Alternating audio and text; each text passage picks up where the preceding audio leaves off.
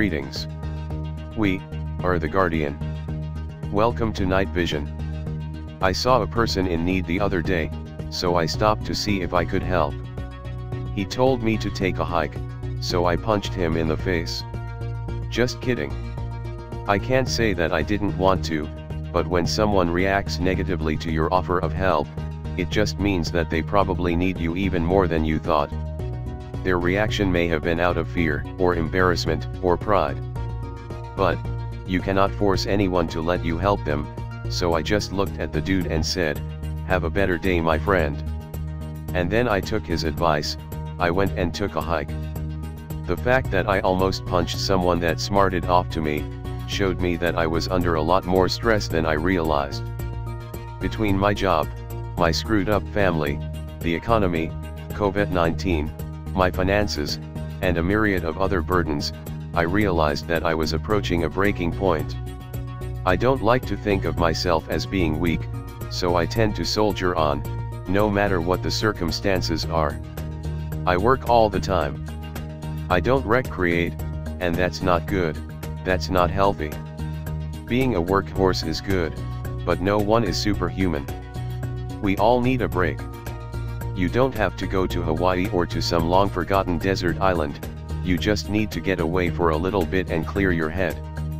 Take a nice long prayer walk to a secluded area, and pour your heart out to God. Express your needs, your emotions, and your fears. He will hear you. Take a notebook with you, and ask Him for direction. As He leads you, and guides you, and gives you insight, write it all down for future reference. It's not that you won't remember, it's just that the world has a way of diluting those types of experiences, and before you know it, you're back to punching strangers. And get back into church. Church is good, it's therapeutic. But remember the old saying, the church is not a museum for saints, it's a hospital for sinners. It's a place for broken people to get mended and healed. It's a place for people to come together and be human, not superhuman. It's a place to let your hair down and just be yourself. That does not mean be carnal, it means be real. Be transparent and genuine. Let people see the cracks in your armor. Most people that go to church are just like you, they love God, but they are a little beaten up.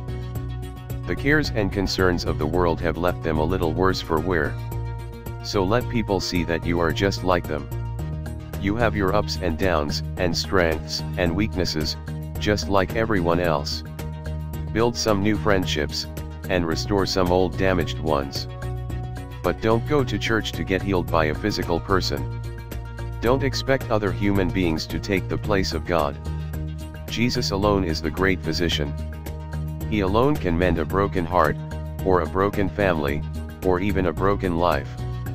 It all starts by taking stock of what it means to be human, to be honest and vulnerable. It's okay to be strong, just don't try to make people think you are the Rock of Gibraltar. That's an image that no one can live up to. Not only is it impossible to maintain, it causes others to go down the same path, and they end up being just like you, trying to maintain a facade of invincibility. So drop your guard, and take a hike. You'll thank me for it later. Peace be unto you and your house. Taking a hike is not a miracle cure for all that ails our society, but it's a start. It helps the human heart to make much needed course corrections. But nature cannot take the place of creation. And creation cannot take the place, of the Creator. So make sure when you take your hike, that the end goal is to reconnect with God. Only then will you find true peace, meaning, and purpose.